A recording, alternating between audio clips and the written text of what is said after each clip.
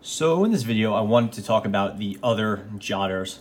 And what I mean by that is the Parker Jotter rollerball and the Parker Jotter fountain pen. When people talk about the Parker Jotter, I would say like maybe 99, maybe 99, maybe 90 times out of 100, you're talking about the ballpoint. It's a very popular ballpoint. Usually people like it in the stainless steel version, but there are other versions. And again, it's really nice. It's affordable, maybe 10, 12 bucks. Has a great build, nice click, lasts forever. So the ballpoint jotter is really the jotter. Uh, once in a while, my, people might be talking about the Parker Jotter mechanical pencil.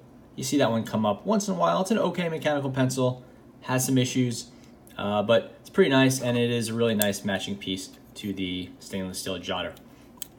And then there are some jotter ballpoint variants, like this one was sold as a gel, has some black lower. It's uh, it's cool, right? But the forgotten jotters, at least in my mind, are these two. So I wanted to pick them up, and Parker had recently done a very big sale, so they were very affordable. I think they would normally go for maybe about $12 for the rollerball and maybe $25 for the fountain pen, give or take, just a ballpark. Uh, but I picked them up for less than that and I've been using them for a little bit, and I kind of wanted to talk through them. I bought the rollerball in the blue lower, so it's plastic instead of all stainless steel, just because I thought this blue looked very cool. Usually I would only buy a stainless steel jotter, but once in a while uh, I like the color, so I'll pick this one up. So again, this is the rollerball version of the jotter. You can see Parker logo, uh, made in France. This is a very new one. I, again, I just bought it retail uh, a couple months ago. Stainless steel upper, the arrow with the fletchings and all that. You can see that sort of design. It's the newest design. Kind of a domed stainless steel top. It is a cap piece. It's not one piece. And the plastic lower. It is also sold with different lowers, but if you want the blue or any of the really vibrant colors, you got to get the plastic. Snap on, snap off cap, you probably would expect. And then you see the refill there is just this like kind of stylized metal around here. That's the lower of the grip section, plastic grip section, and then plastic body, and sort of uh, a little step there. It's definitely not seamless. The pencil, oh, sorry, the pen opens up just by unscrewing. The body is very light and very flimsy. Actually feels like it's kind of made out of a cheap plastic. And again, while I like the color, I'm sort of regretting buying it in the plastic and there's no metal and reinforcing or anything like that in there at all. So you want to make sure you don't over tighten that. The lower is all plastic except for those little rings. Again, those are just for uh, style purposes. I think it's, you know, pretty nice. And Parker has used rings and wedding ring type designs in the past. So maybe it's a historic callback. I'm not really sure. And then this is all plastic, kind of flimsy feeling. It does not in any way feel particularly reassuring. And then there's the refill. The rollerball uses obviously a uh, kind of weird looking refill. It's not a standard G2 style refill. It's uh, this Parker pr proprietary design made in France. 0.5 millimeter is the one that comes with it. It's this kind of stainless steel body. It's two pieces, which is a little odd. Uh, then a spacer back here, and then kind of the extended tip area. You can see this area, this piece right here, is meant specifically to be used by the jotter and some of it is kind of exposed there. So it's kind of like these things go part and parcel, which I guess you probably, it's not like you'd want to use this refill in another pen. It's not so good that you're like, oh man, I'm dying to use my Parker Jotter rollerball refill in my whatever body. So uh, it's kind of just, this is the refill for the jotter and that's kind of it. And uh, yeah, it all fits together fine. I'd say build quality is okay. So combine okay build quality with a weird refill, and I think you're starting to suspect why the Jotter rollerball is not as popular as the Jotter ballpoint or even the mechanical pencil. It has an okay snap, but it is quite new. So over time that'll degrade, and uh, I don't foresee any issues, but uh, probably not something that's really going to hold up that well. Whereas, you know, with the standard jotter, it's all stainless, that click is always going to last, and these things last for, you know, 40, 50 years at this point. And now the rollerball, sorry, the fountain pen. The fountain pen I bought in the full stainless, but with the gold. Usually it's sold stainless with silver. Uh, it was a little cheaper, to be honest, with the gold, like a buck or two. So I bought it with the gold. I think it looks okay. I'm not a big fan of matching silver and gold, but you know it's snazzy enough, and uh, don't have any serious issues with it. The gold does look a little cheap. Obviously, it's not real gold. It's just uh, you know, bronze. It's not bronze. It's like uh, you know, gold plated. It's probably not even gold. It's gold colored, but it, does look a little cheap in person. Clearly, it's not gold when you're looking at it. You, you, you know, you don't even know, have to know it's a $10, pen, I guess I'm saying. And you would say, like, eh, yeah, that looks a little off to me. But uh, not a big deal. Anyway, we still have that sort of molded finial piece there. And that's just probably just epoxied on. I'm not really sure.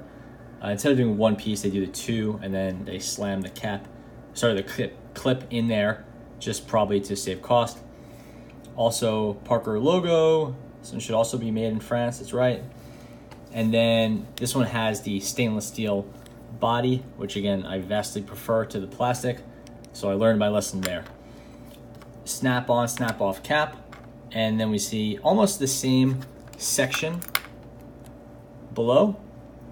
Probably actually the same section below, the same kind of three ring design. And then we have a stainless steel nib. It's a little bit longer than the roller ball front piece, but not much. So it's a relatively modest nib. It's uh, heavily curved, so it wraps around about uh, 50%, so it's like 180 degree nib. All stainless steel, has sort of those chevrons there, which are you know inspired probably by the uh, the feathers of the arrow, which is pretty cool. No breather hole, just kind of the slit there. Very simple. Black plastic feed you see below. Opening the pen up, this is definitely a nicer piece, much, much more reassuring than the plastic. And then opening the pen up, you see it's all plastic, and then we have a, uh, I believe this is a Parker user proprietary refill, uh, and it's the size of a standard international long refill. I do not believe an international long will work. And that is the Jotter fountain pen and rollerball. On the whole, I would say I'm not blown away with these. The build quality on both is fine. Like in this one, it's maybe not in keeping with the ballpoint, but it's good enough. If the plastic is what you get, then I think you are missing out on the full Jotter experience. Again, I, I consciously chose it, so it's on me, but uh, I do regret that. I would definitely say get the full stainless. It's a nicer pen, a nicer weight to it. It's not like the plastic was reinforced to compensate the fact for the fact that plastic is lighter and less strong than steel. It's like the plastic is a worse product. Good click. Everything stays together. It's like even the stainless on stainless, the tolerances, you could feel it, but it's pretty good. It's better than it needs to be. So I think that's okay, especially for the price of the pen. And there's almost no wiggle there, maybe a bit, but relatively none, and the cap is not in any way loose, which I like. With the rollerball, I've noticed that as you put it back on, it will catch sometimes. If you don't put it on exactly straight, it'll catch, which is, to me, super annoying. I Like, if you are going to design a pen with a squared off edge here, you need to have a rounded piece on the inside to compensate for that. You can't have a squared off piece here and a squared off piece here because this happens and as you're putting your cap back it's just an annoying feeling uh, so I don't understand how you could have a pen that's been released for 50 years and have weird issues like that. Uh, but maybe the rollerball is newer I'm not exactly sure. I will say that the two caps have little breather holes there. And I think that's just to present, prevent any sort of suction from forming as you're pushing it down or pulling it out. Uh, if there's a little bit of breathing there, then uh, that won't happen. And the suction is particularly bad with a fountain pen as when you, not really when you push it in, but when you pull it out, you could, if there's suction, you could draw out some ink and start collecting ink inside the cap or around the nib, and it just gets to be pretty messy and gross. That's why uh, that hole, I'm guessing, is there. And you could see it right there. As far as the writing experience goes, uh, neither of these are, I would say, stellar pens. They're, they're definitely in the good enough category. I prefer the fountain pen to the rollerball.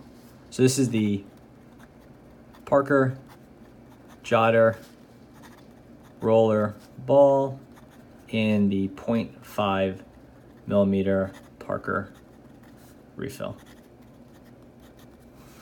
And it's just an okay writer. No complaints with it. It definitely feels a little scratchy. Uh, it's not like a smooth fountain pen type roller ball. It's just an everyday, normal, boring roller ball. Sort of like a cross. Just, you know, gets the job done. But nothing uh, really nice to it. And actually, it's a little too scratchy for me. I'm using this on a cheaper paper, which sort of exacerbates it. But I do not enjoy writing with this pen. But it does get the job done. And this is in the 0.5 millimeter. I'm not sure if it's sold in other sizes. This is, when I bought it, the only size that was available. So maybe if you bought an aftermarket refill from Parker, it would have a larger size and you get it up to like a one millimeter or 0.7. But this is all I could find. So this is what I'm basing my experience on. Definitely as a lefty, it's scratchy. And while the, it's a nice black, Parker does, I like Parker's inks. It just does not feel very nice to me, but it works, no problems, and it's doing well on this cheaper paper. The Parker Jotter fountain pen for a $20 fountain pen is actually not that bad. I would say I enjoy writing this pen as much as I like the Pilot Metropolitan, which is actually a little cheaper, or the Pilot Kakuno, which is again a little bit cheaper and the nib is very stiff. Obviously, no, uh, it's not a nib you would ever flex. And it was also, I would say, awkwardly tiny. It just looks really too small. I'm fine with a small nib on an inexpensive pen, but this one is, it's like really quite tiny. But it's a nice writer. Very little, if any, sorry, line variation. So you're really not getting much of a fountain pen experience. Even if you put some force on it, you're not getting much line variation. Maybe a little, but at that point you're you're giving it so much force that you're not even using it like a pen. You're just using it like expelling ink as hard as you can, or like not as hard as you can, but you're just like if you're seeing line variation is more that you're just trying to do it. But I will say it's a quick writer. It's good on most papers.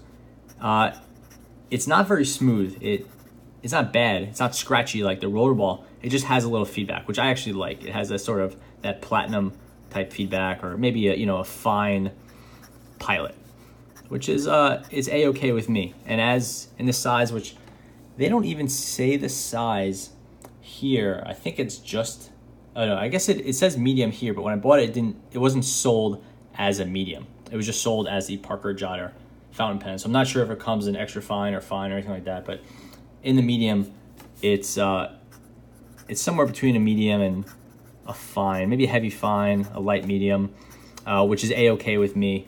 And it's uh, writing nicely, keeps up nicely. I like Parker's ink. You know, as much as I'm not a huge fan of these Jotter pens, the uh, Parker Quink is always a very reliable option to me. This pen, I'll just note, does have the same cap issue where you don't put it on perfectly square, it will lock up.